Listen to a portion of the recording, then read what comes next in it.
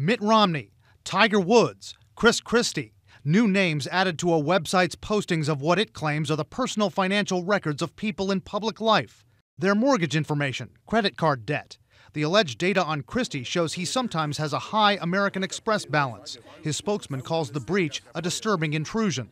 We cannot verify that the information is accurate. A law enforcement official tells CNN investigators are looking into how the perpetrators got the data and whether it was hacked or not. The FBI, Secret Service, and Los Angeles police are all on their trail. I spoke with Michael Gibbons, former head of the FBI's Computer Investigations Unit. How are investigators tracking these suspects? The addresses of computers will lead you to other computers. They'll lead you to, to the little detailed file names and snippets of files, and you may do forensic capture of whole computer systems looking for an exact piece of evidence from some other system across the globe. Two credit agencies, Equifax and TransUnion, confirm information on their clients was accessed. How easy is it for an impersonator to fake an inquiry and get data about you from a credit agency? I called for a free credit report to learn the type of information they ask for.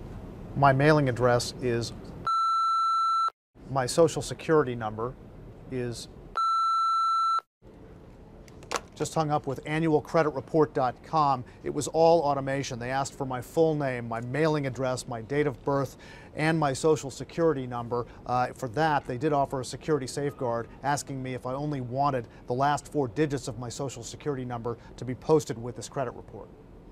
Online, they also asked me four challenge questions. It seems the people who expose this information are confident they'll never be caught. On the website, they openly taunt their targets, posting pictures of Kim Kardashian and Tiger Woods crying. With the First Lady's apparent information, a note Blame your husband. We still love you, Michelle.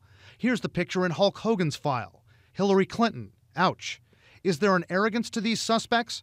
Marc Maiffret is a former hacker who's now with a cybersecurity firm called Beyond Trust.